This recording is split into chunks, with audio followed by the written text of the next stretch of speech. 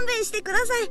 キノコはキノコはありません。いや私たちはそういうんじゃなくて。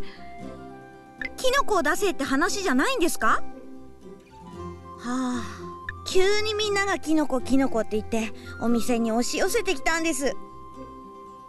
何なんでしょうこのキノコブームは。俺の料理がうまいからだろ。チップ店長ああそこの冒険者さんよ。この町ははじ広告の三つ星酒場っていやここだ。覚えそんな呼び名ありましたっけ？あったんだよ。今俺が決めたの。そうだ。あなたたちにもお願いして他の冒険者さんにもお願いしてるんですがとても追いつかなくて。持ってきてもらえればそれなりのお礼はしますから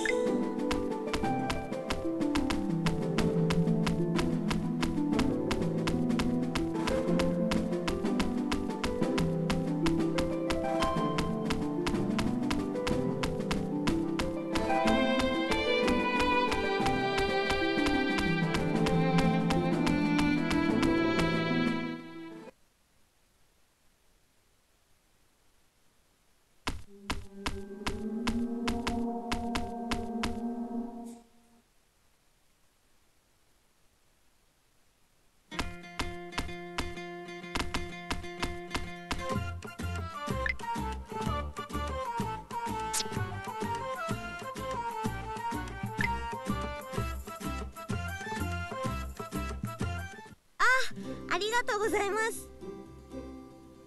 あなた方がキノコを持ってきてくださった一番乗り。早いですね。助かりました。もう我慢できません。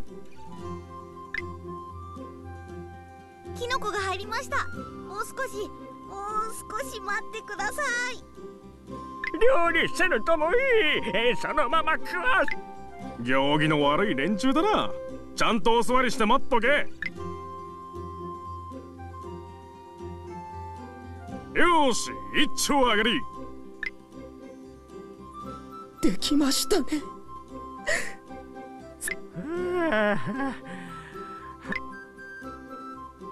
あんたありがとうよ。助かった。お礼にあんたにも俺特製のキノコ料理だ。企業秘密のこのレシピも持っていきなどうしたんだろうなこのキノコブームは。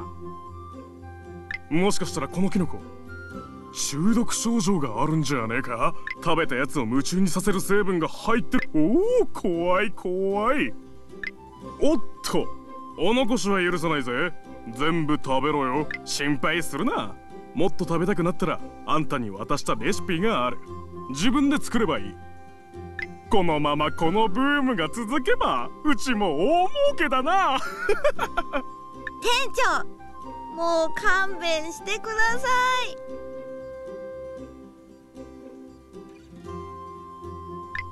私キノコがないってお客さんに怒られるのは嫌です。